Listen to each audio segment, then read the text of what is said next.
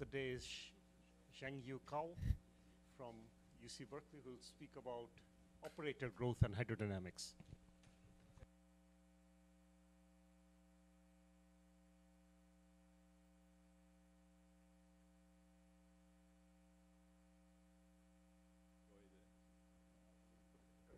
Correctly, yeah, yeah. On, on the ear.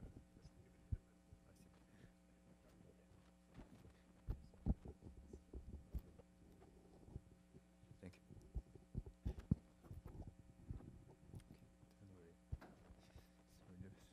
you. Yeah, so I enjoyed the huge diversity of intriguing talks, and uh, um, in the final talk of today, I would like to, um, actually, I would like to talk about um, two different subjects. Um, the first one is really appetizer. I want to keep it short.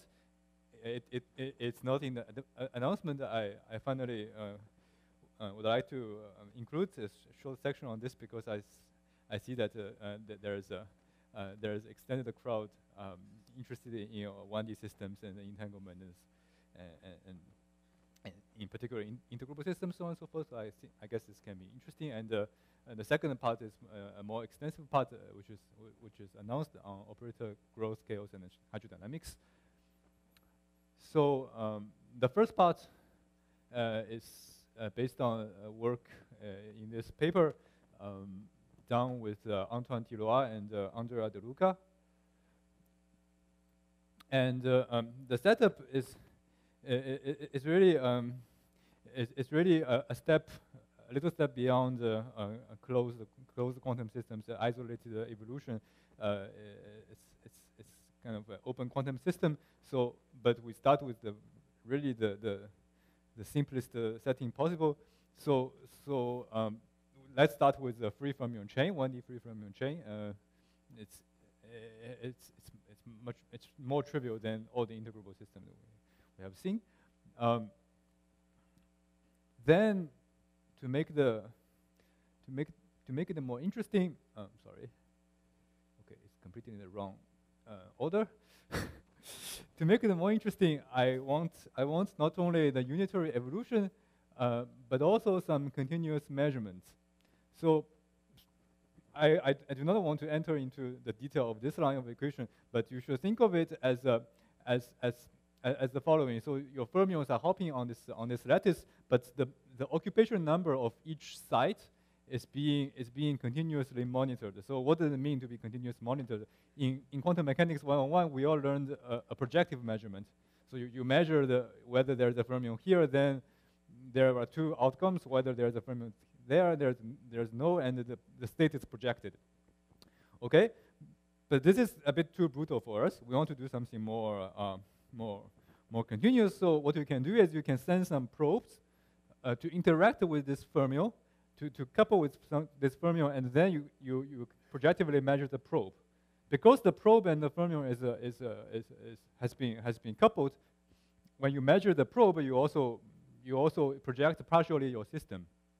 And uh, it is well understood that this process can be, can be, can be modeled in some kind of in a kind of a random uh, stochastic, in a stochastic Schrodinger equation in, uh, in, uh, in, this form, where, where the number gamma is the measurement rate, so how, how, much, how, how much probes you, you send and measure per, per second measure uh, uh, to, to, to, each, to each fermion. So um, if you are familiar with the open quantum systems, actually, um, if you if you look at the density matrix and the average over it, you will see that time evolution uh, uh, satisfies the so-called Lindblad equation. So you have this unitary part and you have this so-called uh, dephasing part.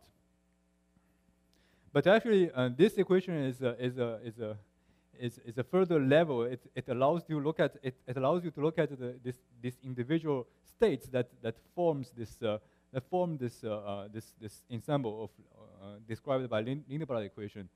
So why do we why don't we study Lindblad equation and study uh, this more uh, this uh, more more um, complicated looking equation? Well, there are several advantages. For, first reason is that this this Lindblad equation with with these Hamiltonian with the, these occupation number operators has been studied. It has been well, very well understood. So I I, I, will, I, will, I will talk about this later. Um, moreover, this, uh, this system is, uh, has, has two main advantages. The first one is that actually this evolution is Gaussian. So if you start with a Gaussian state, you stay, uh, the, the, state, the state will stay Gaussian. So you can do quite easily numerics, uh, numerical simulations of large systems. It's like simulating a free fermion chain. Ba basically, you just have some randomness there. And also, and also um, the state is pure. You can see that there's unlike unlike this Lindblad equation, which is uh, which is an average version, here here there's uh, the state is random, but it is pure all the time. So then you can define its entanglement entropy um, in, in the in the standard way.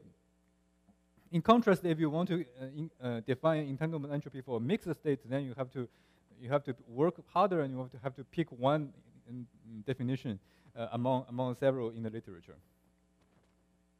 So the goal here, as the title has already indicated, uh, is, is we want to study the entanglement of, of, this, of this random state under this evolution. So what, what, what, does, what does the evolution, what does the terms do? Um, okay, the free fermion unitary, you are all familiar with it. If you start with some uh, um, um, low entanglement state, generically it, uh, it, will, it will generate an entanglement uh, and, and the system will reach finally a a, uh, a volume law entanglement state. Now this continuous measurement what it will do, and you, you, can, you can again get information from, uh, from projective measurement. If you projective measure, for example, half of the spins, then these half of the spin are just become, just get projected and, uh, and uh, you will kill entanglement because these spins will, will at least be decoupled from the rest of the system. So, so, so in terms of entanglement, these two, these two terms are doing different things so it, it's interesting to look at uh, how they how they compete against each other uh, as a function of this gamma, of, of this uh, measurement rate. Okay, so what is our method um, to do this? It's it's it's a generalized hydrodynamics. So first of all, this Lindblad, this Lindblad equation allows to write down an exact uh, GHD equation, uh, and this this was already known, although in some other forms by people like uh, and, and, and Prosen in, um, in uh, a few a few years ago. So, so basically, what you have is that you so you you, you, you can you can you can, write down this uh, density uh, um, of, of quasi particles and then just uh, nothing but the Wigner distribution. So there is a free fermion part, so the quasi particle just move freely, and then there is a dephasing dephasing term um, due to the due to the dephasing due to due to the continuous measurement. So what what what does it do?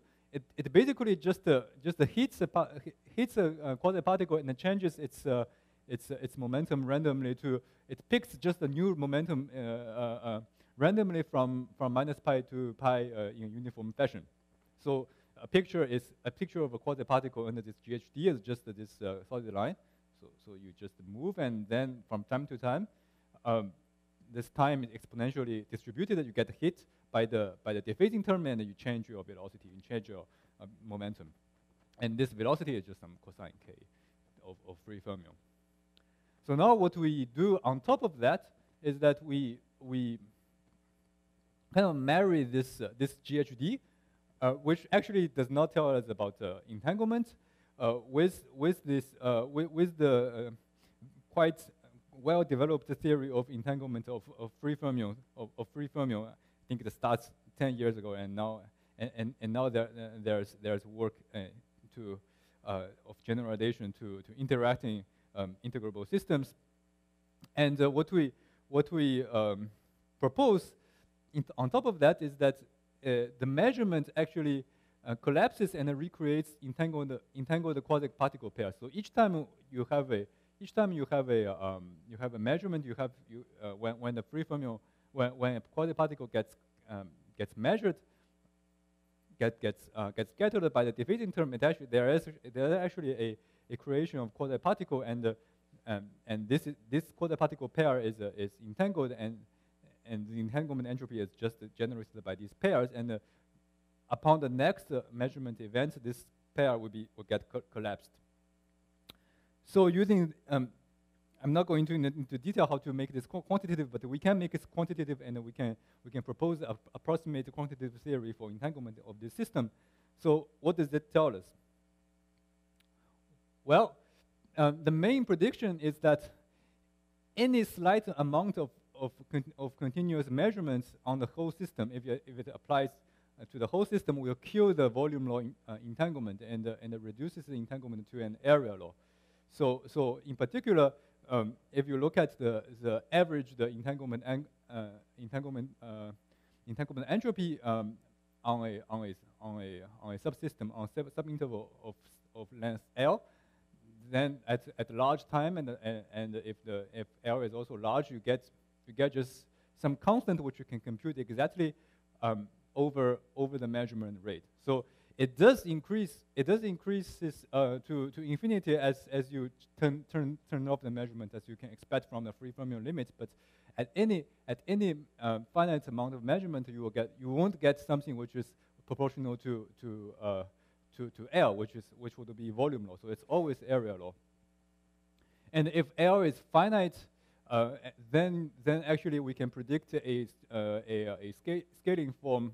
Um, so, so this, this entanglement uh, per L scales with, with L times gamma with the exactly computed uh, scaling, uh, scaling function, and uh, we can compare it with numerics, and, um, and it works well across, across uh, uh, several orders of, uh, of strength of measurements.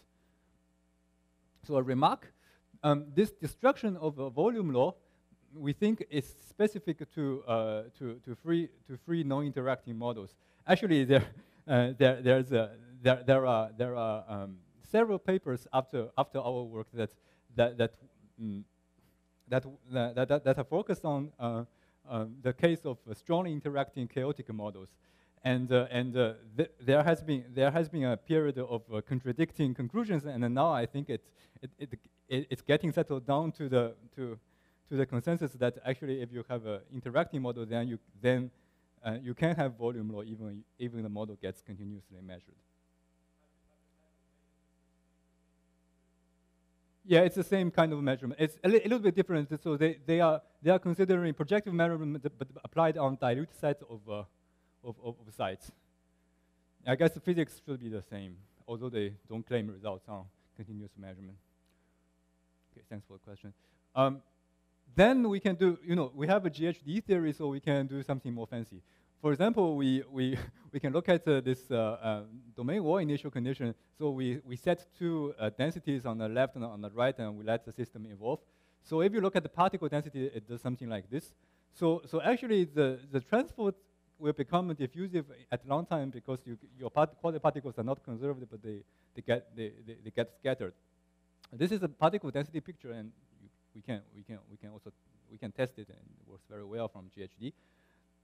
But then, um, furthermore, the GHD seems to work also uh, when you look at the entanglement entropy across, across this half system cut. Um, it works well for this, uh, for this, uh, for this density setting uh, one half uh, to uh, one, one third and two thirds. And more surprisingly, it also works qualitatively okay for this case of, of, of, of hard domain wall with, with, with fully filled left and, uh, and no fermion on, on the right. Why, this, why is that surprising? Because our, our theory does not, our theory does not um, account for this logarithmic uh, entanglements in this uh, in this measure in this measureless case. So so you see so so you see that there, there there's some uh, discrepancy between between the between the uh, prediction and the and, and, and, the numerics, but but nevertheless it's it it, it seems it, it, seems to be giving uh, qualitatively good answers. So okay, to to wrap this part up. So we, we have proposed the approximate uh, quantitative theory of uh, free fermion entanglement dynamics with, uh, with, uh, with continuous measurements. And the main message, main take message is that if, um, there's no volume law, and you can understand the reason by saying that uh, the quasi-particle pairs gets, uh, get collapsed um, continuously, so they have finite lifetime, so you cannot, they cannot support vo volume law, vo volume law entanglement. So uh, ongoing or future work is uh, it's, it's, it's an interesting question of what happens uh, if you have an integrable uh, interacting system instead of instead of a free system. Well, will the volume law survive and and this this we don't know yet, and uh, uh, we're trying to figure out how what happens. So I will first take questions on this part before moving on. Yeah.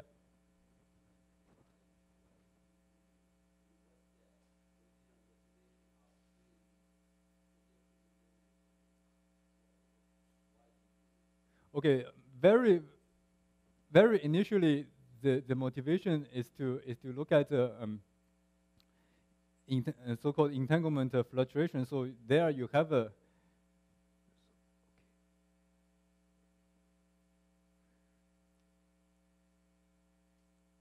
okay, it didn't work. No.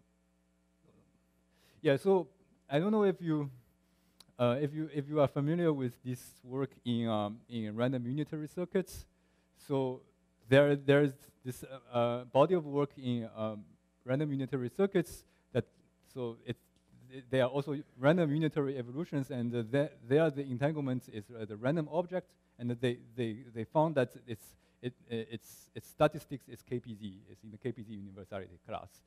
So that was great, and we, we thought, what, what if we come up with something more physical because that random unitary model is is kind of a, a theorist toy model for, for random unitary evolution. So this is what we came up, and uh, that's, that, that's, uh, that, that did not work. There's no KPZ in, in there. this was the original hope, but, uh, in, but instead of finding KPZ, we find, we find, a, we find a, a, a GHD um, uh, theory. So that's it.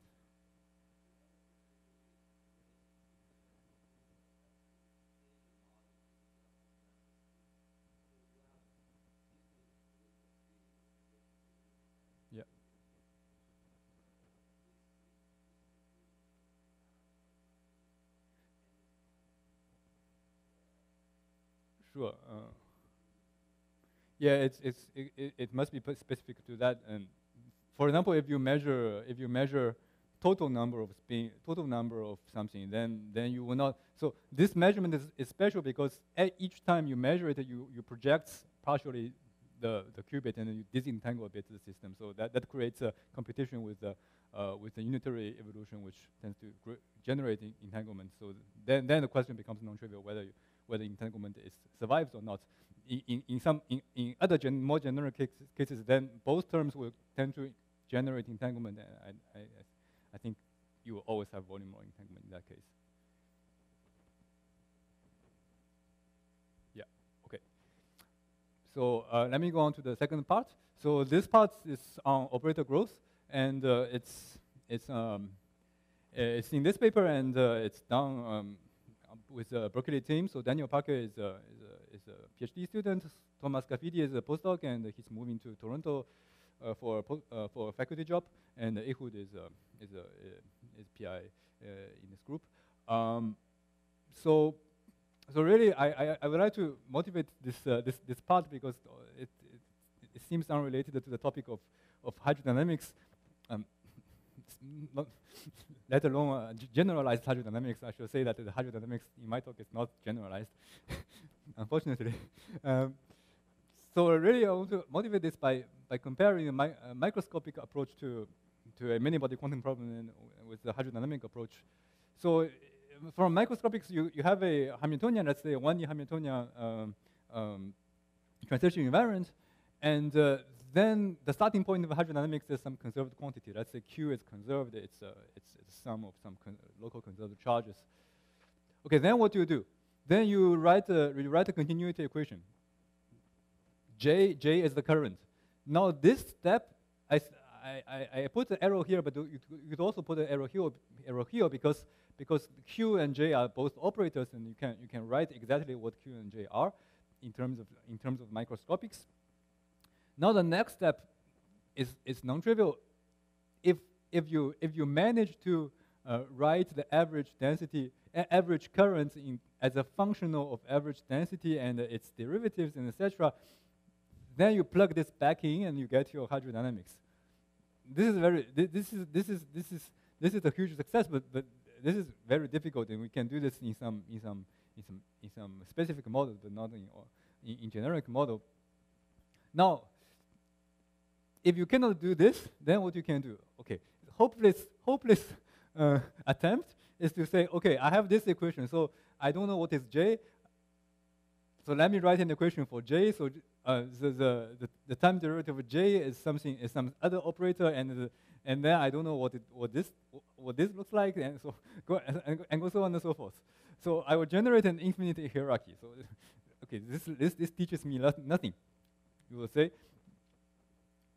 However, you can you you see already that I have I have here uh, O2, O3, O4, and you can imagine that these operators are are more and more are more and more complex, and uh, this this is what I mean by by operator growth. So I let me put this um, in a more precise setting. So so the the time evolution of an of an operator is given by a Heisenberg equation like this. So so the the current is really something given by the commutator of edge of O, and then okay, you want to know what this is. So it's it's it's time its time evolution is given by the nested commutator and so on and so forth. So of course, you can you can combine all these equations into one equation, which is which is a Heisenberg picture of time evolution. And uh, this is what people call operator growth. They, so they, they really they really want to start with a simple operator, for example, a local term or a, a, a sum of local terms. For example, you have you have you have a density wave of, of your conserved quantity, and, you, and so this is O of t equal to 0, and you want to look at uh, what o, o of t um, looks like. So let's, let's just think about this, this uh, one-dimensional model for, for a second. Um, you have your favorite spin chain, so you have your O of t of 0 at, uh, at, some, at some point, it's a local operator. Um, then, what will, then what will happen is that this operator will become more and more non-local.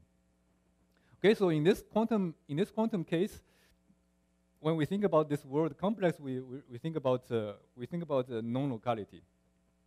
And by the way, this, this, this non-locality is, is um, constrained by the so-called Lieb-Robinson bound if you have a, if you have a, a short-range interacting system. Now we can, it, it helps, it will help in, uh, for, for, for the later slides to th also think about this, this operator growth in a classical system. So you can do the same thing in a classical system just by replacing the, the commutator with the Poisson bracket. And the, this operator in a classical system is just a function on the phase space.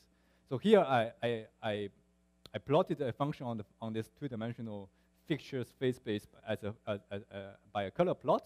And this is t equal to 0. And then as, as, uh, as, as evolution, uh, under, under time evolution, this function will become more and more fractal, I would say. The, the, the, different, the different parts get tears apart, get, they, yeah, they, they are moved apart by, by the Liouvillean dynamics to, to different places. Um, and uh, here, complex would mean fractal, but we will, if you if you know something about the butterfly effect and the chaotic system, you, you will see you will you will realize ex exactly that this complexity is is just nothing but classical chaos. Okay, so just just to recap, operator growth is really this slogan that operator become operators become complex in in um, under under unitary evolution, and uh, what you can also say that the nested commutator with the Hamiltonian of a simple operator becomes complex because this is what it this is what enters into the right hand side of the equation. So of course this is very vague. So you would you would say, can we quantify this growing operator complexity in a more precise way? And if we can, if we can give some numbers, um, does operator growth follow some universality? Can we say something general?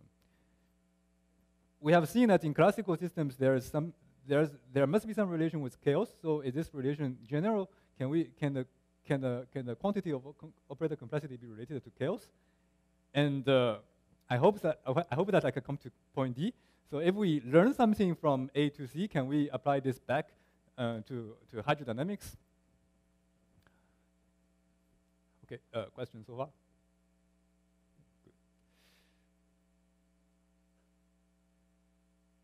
Yeah, so since we are studying operators instead of states, I just want to make life easier by, by introducing some notation. So I will treat operators as states, so uh, I will put a, a round bracket. And then I will, I will write the commutator with the Hamiltonian just by um, just by Liouvillean. So the Liouvillean is a is a is an example of a so-called super operator. So it's just a, ha- it's a short shorthand, and then we we have to put a, an inner product on the operator space.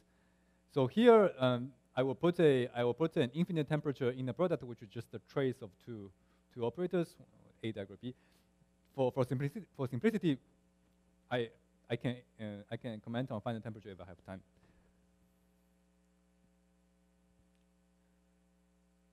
So so now we, we would like to seek quantities that quantif that, that, that quantify uh, uh, um, um, the growing complexity of O of t.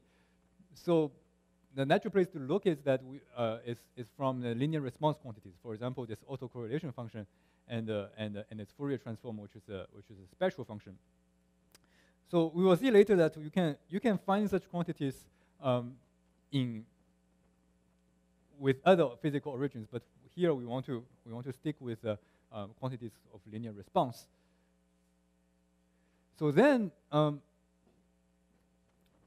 I claim that this, uh, this complexity of, of the operator is encoded in the high frequency tail of the spectral function, while the hydrodynamics is rather encoded in the low frequency um, part of the, of the spectral function. So we must ask why, and I have to, to explain it.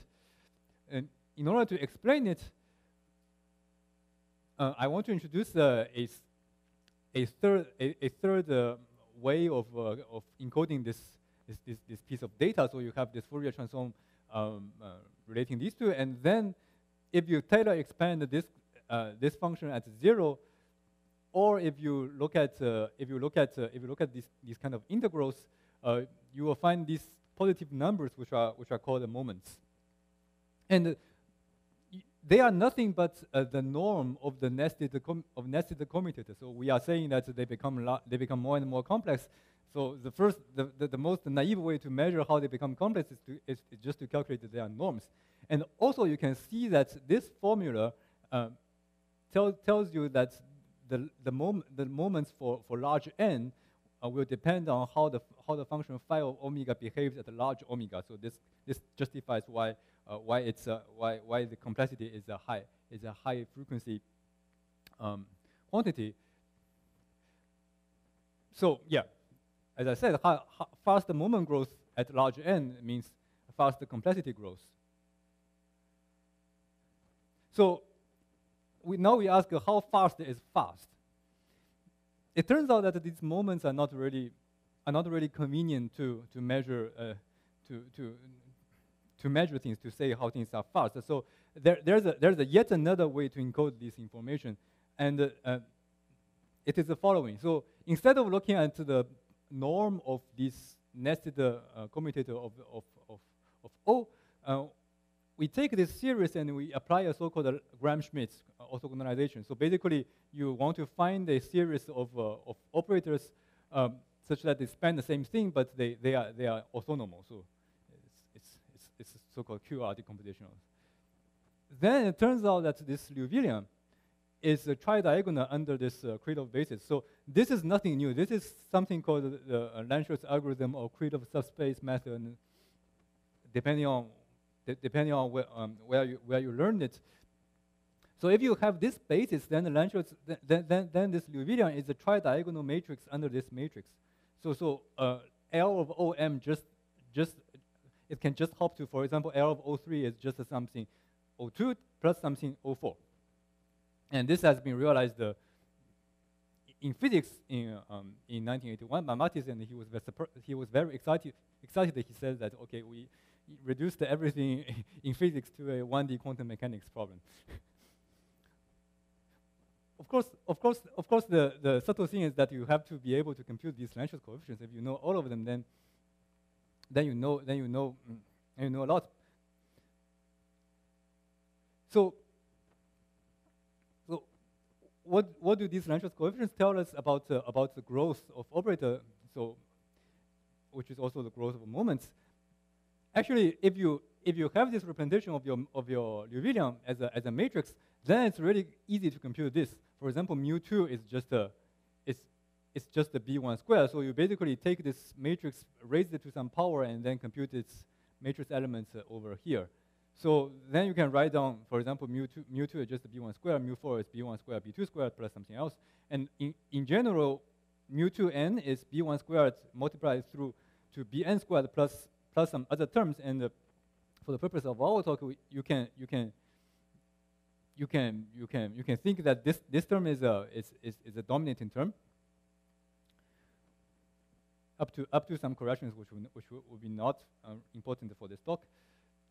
So so all in all, the the growth of Lanczos coefficients is also a, it's a different just another different way of, of, of quantifying uh, the growth of moments and, and the way of quantifying how complex the operator becomes.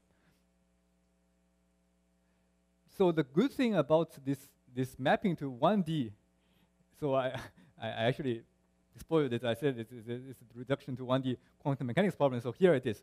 So remember that the, this this Lanczos, um, this this Liouvillean it becomes tridiagonal. So so it is a it's a tridiagonal matrix. It's, it's really just a hopping problem on a semi-infinite chain. So the bases are just uh, o, O0, O1, O2, O3, O4, and the hopping elements are B and are the Lanczos coefficients.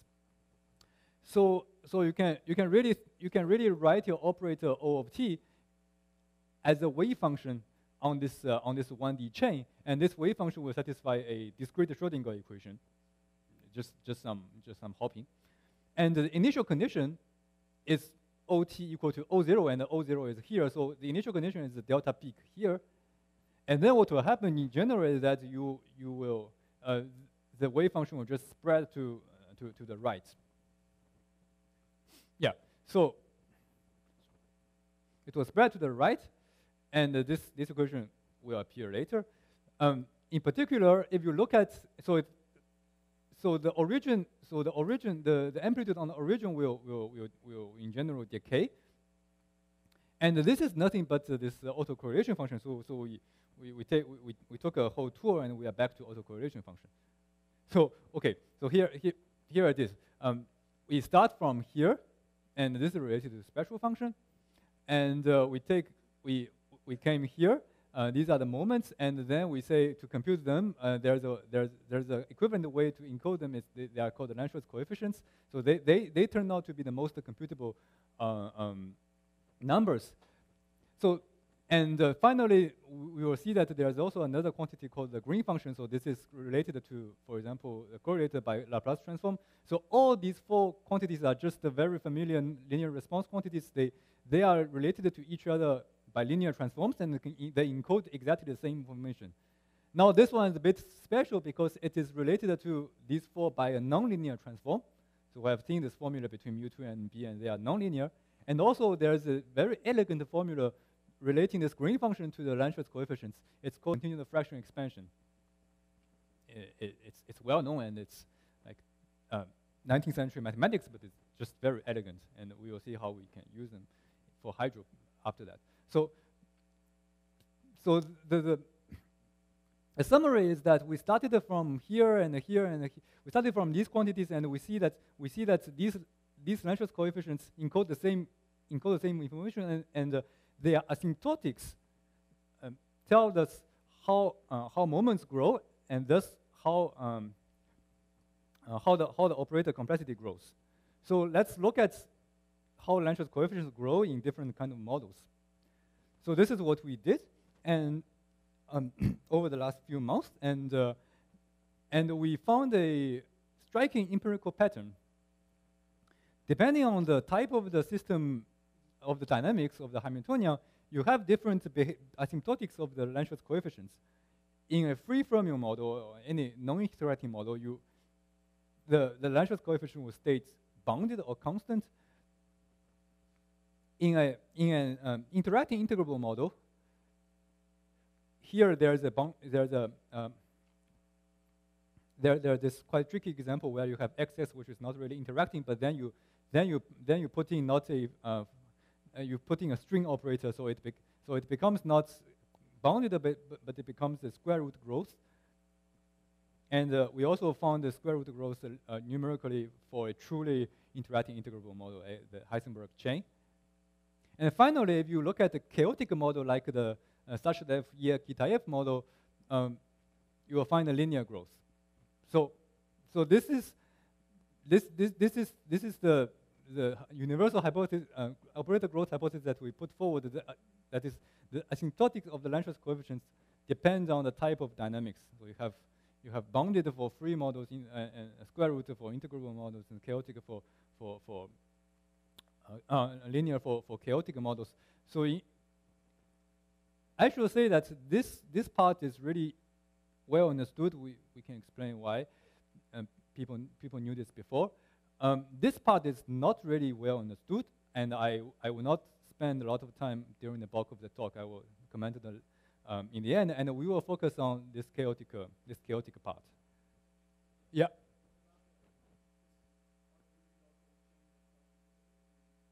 Yeah, uh, you will see it's in the chaotic uh, case. You will see. Yeah.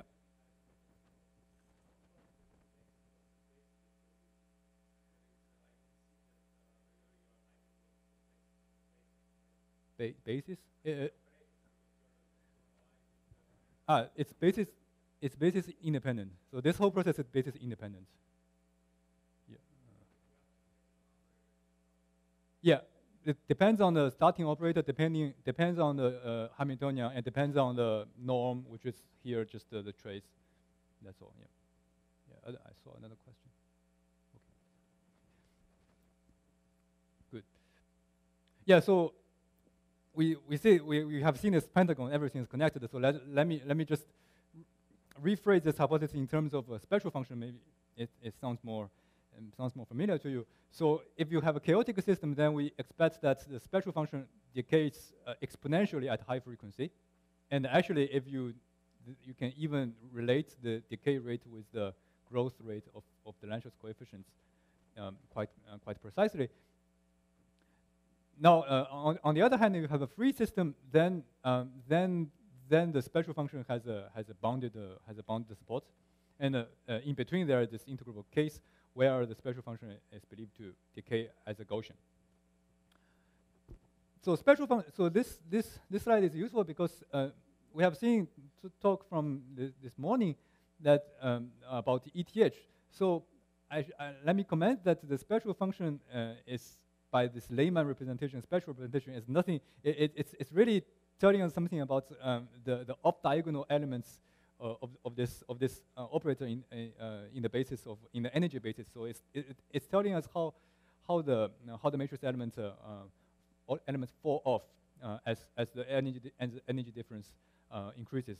And it's, it's, it, and the special function relation, the spectral function formulation also makes this, um, makes, makes it in principle possible to, to, to measure um, how, how, how, how these things grow by, for example, uh, periodically driving with this operator and see how, how fast the uh, how fast the, the system heat, heats up, and that, that requires finite temperature, so it's so it's a bit beyond the scope of the current talk.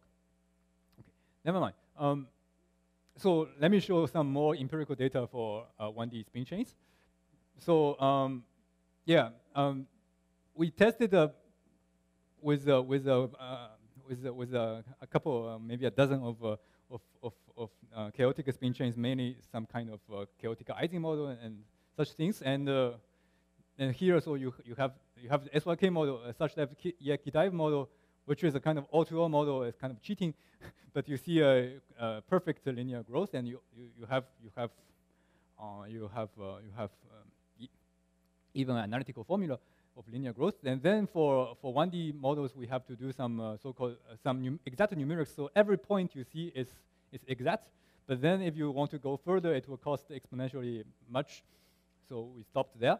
And uh, you see, we see, we see that this linear growth pattern is, is, quite, uh, is quite robust. And uh, you, can, you can even amuse yourself by turning on a small interaction from a from a non-interacting Ising model. So this is an Ising model, and then you turn on a little bit of interaction, and you see that as as as long as you turn on a little bit of it, uh, it, it, it, it, starts it starts to grow, and and then uh, as in some in some strong interacting limit, it, it, becomes really perfectly linear. Uh, it's infinite system, so you can so this kind of operator algebra, you can, you can do it in infinite system. Because the operator has finite support, so it doesn't care about uh, what happens. Yeah, this free fermion is this. Yeah. Uh, yeah, you are right. So this was uh, so before you see, you saw this. So th there is this bounded. So if you have free fermion, for example, x x, if you have x y model, uh, then this is for example z. And if you start with uh, x, which is a chain, which is a string, you get a you get a square root growth. Yeah, it's like an integral model. Yeah.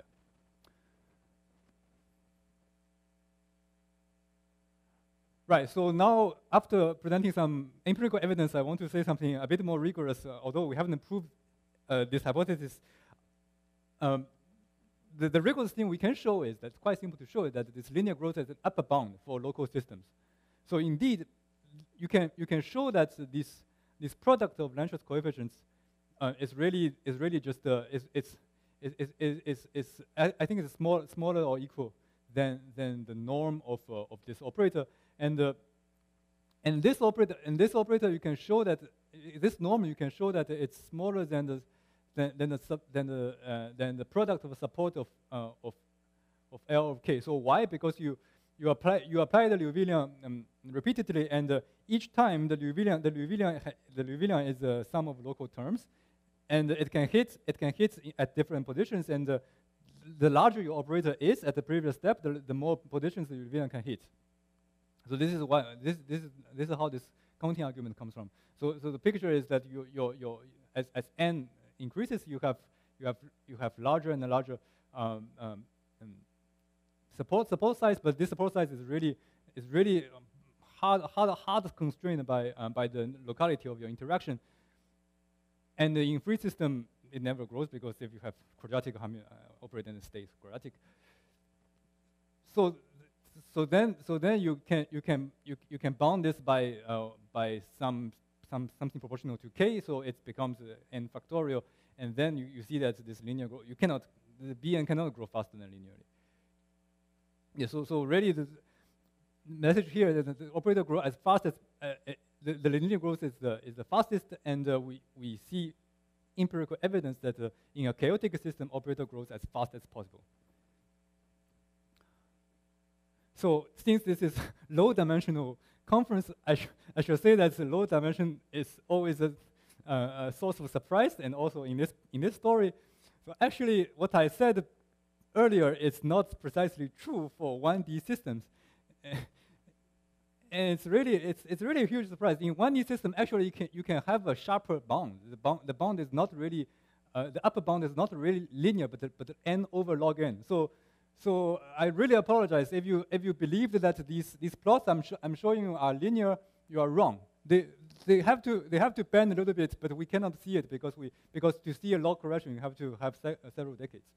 So so so there's a there, there's a strong geometrical constraint that the operator in a, in 1D it can only grow at the two extremities. So because of this because of this you can there is actually a, there was actually a theorem in the 60s proven by Araki and pointed us to us by, by a student at Berkeley, uh, Alexandra Adrovsky, um, Advovsky, um, that there this theorem and the, and the Bn actually only can grow with, with uh, like n over log n.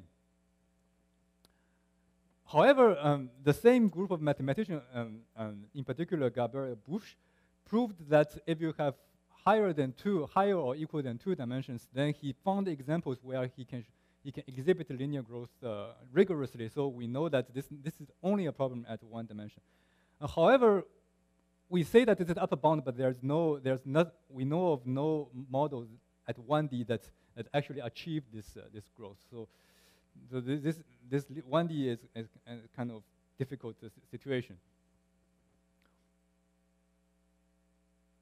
Yeah, so maybe we should, we should just put 1D aside and recap the, the message for this part, operator, operators grow as fast as possible in chaotic system, subject to locality, and uh, uh, coefficients are just, uh, are just reflecting this, um, this, this, this observation. Yeah.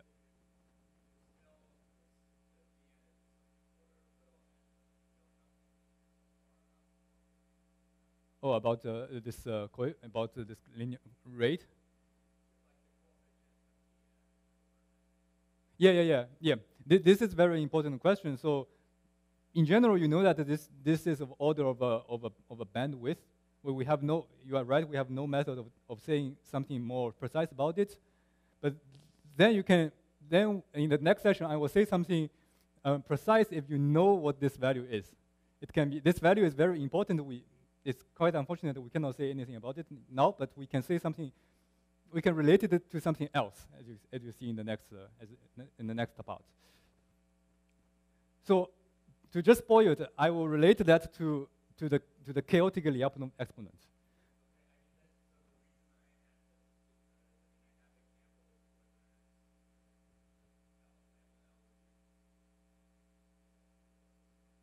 Yeah, I, yeah, yeah, nice. Yeah, yeah. So I, I, will come to that and uh, we can discuss. nice. I know what pipette is. um, yeah. So to relate that to, to, to classical and quantum chaos, um, let me let us go back uh, to this 1D quantum mechanics picture that we that we are already seen. And okay, this is a Schrodinger equation, and, and, and, your wave function spreads to the right, and you, we have seen this, this formula. This formula says that the, the, uh, the average position, the expectation of the position operator will grow in general as, as, as, as, as, function of time. So we are interested in how, how, how fast it can grow. So to, to find out this, let's just uh, do the, the crudest thing possible, although we have some exact solutions supporting this. So you take the continuum limit, it becomes a kind of Dirac, uh, Dirac equation, and then you can solve this one, one order one PD, and you can solve this line. You can solve this, and uh, you find that you find the you find this solution. And in particular, if if Vn grows as a uh, linearly, then you find that uh, this position grows exponentially. Yeah, so this is what I just said. If you have linear growth of Vn, then you have exponential growth of the of the position. And by the way, this is an exact solution. So there, there's there's some particular kind of Vn where you can solve this model, this 1D QM model analytically, and you can you can you can plot them. And in 1D, it's yeah, it's different. It's it's not exponential, but it's stretched exponential. Now, if you have anything with that is uh, that is uh, um, slower than linear, like uh, like a square root, uh, other power laws, then you will have then you will have uh, a, a, power law growth instead of exponential growth. Uh, it seems that exponential growth is really is really special to, to to linear growth. And so how do we interpret this? So let me, let me recall, so, okay, spoil it. This interpretation of, of this NT growing, growing exponentially is the irreversible and, uh, and exponential growth of, uh, of, of the uh, operator complexity in chaotic systems. So we have talking about that. We wanted to quantify this, so here it is. Um, how, at least there is one, there's, there's this quantity. So why, why, why, do I, why, do I, why do I call this position on the chain uh, a, a, quanti a, a, quantification of, uh, of complexity? Well, let's recall that this basis element on this chain is uh, they are they are just a Gram-Schmidt of uh, of these nested commutators, and we know that these nested commutators become more and more complex as n grows. So we expect that the, they so so so so are they. So we, so on this chain you have you this chain is basically sorting your operators in, uh, uh, by complexity. This is the least uh, complex operator, the starting one, and then it becomes more and more complex. So now, now if your if your O of t is a linear combination on this on this chain, okay, how, how would you measure its complexity? You would, you would measure it by looking at its mean position. And also, it's, it's, it's, it's useful to think of this chain as kind of a compression of, this picture of operators. You have one simple operator and grow into a huge sum, a huge linear combination of, of complex operators.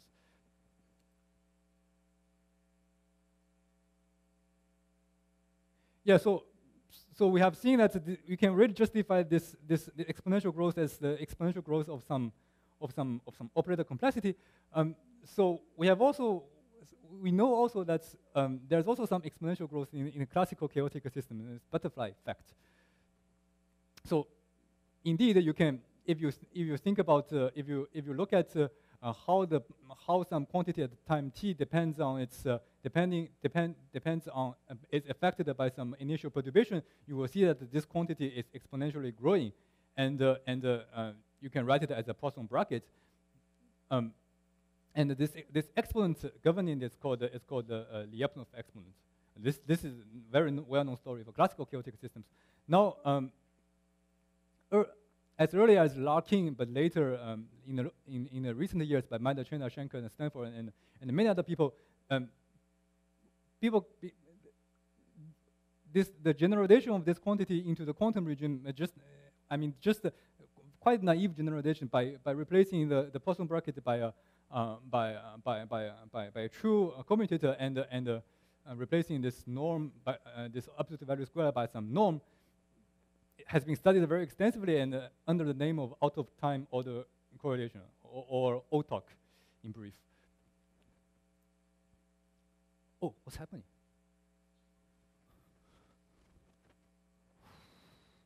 I don't have so, so many slides. There are many extra slides. Don't, don't worry. Sorry, it's really weird. What's happening? Okay, I should, I should do five minutes. yeah. So, yeah. So I have OTOC that grows exponentially in some cases, but not in all cases. Um, and I have K complexity that grows in all chaotic models, and uh, actually they can be compared, and uh, and uh, the, the the the result of the comparison is that there's a bound. So, so the the the, the, the coefficient alpha is actually a bound on the on, on the on the Lyapunov exponent. And uh, this we can we can derive it. So, but I will skip the derivation. So the derivation, okay, I will not skip it. It's, it's, quite it's quite interesting. So the derivation is really that you you you know that these operators are are being more and more complex. So you can you can say that O0 is really simple, so its OTOC is small, and O1 is a little bit more complex, so you can still bound it, its OTOC, it, and so on and so forth. So so you, you have this you have these bounds. Now, if you know this and you know that O of t is a is a wave function, a linear combination of some of some stuff uh, um, of, of, of, these of these operators centered on n, then you know something about the OTOC of OT. So that, that's the idea. It's, it's, it's, it's actually quite simple. So then you can you can bound n of t, you can you can establish n of t as larger than the OTOC of O of t, and then because that is exponentially growing, and this is exponentially growing, you assume it, then you compare the two exponents, and that's it. Okay, I skip the remarks. Yeah, so um, last uh, two minutes.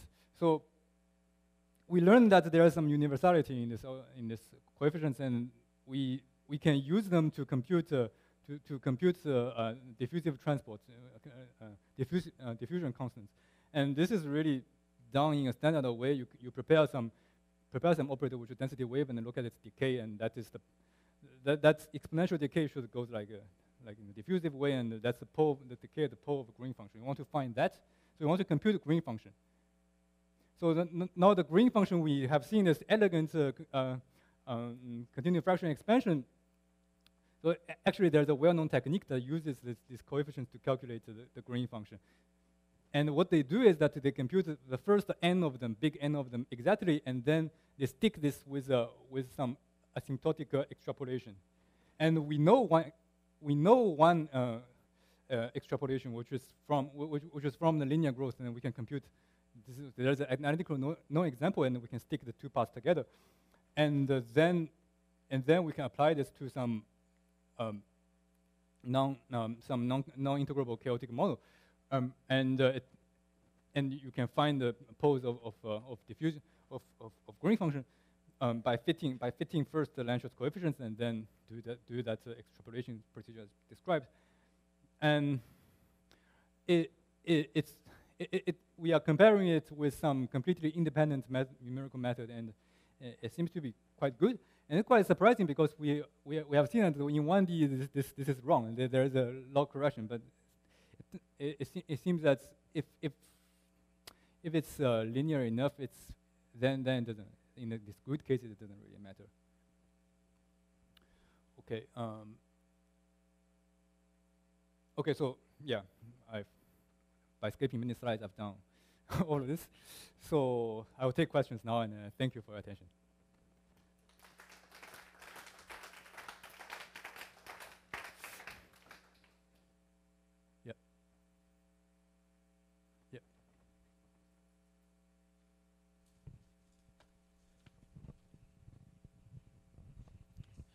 Thank you. Can you comment on finite temperature? Yeah.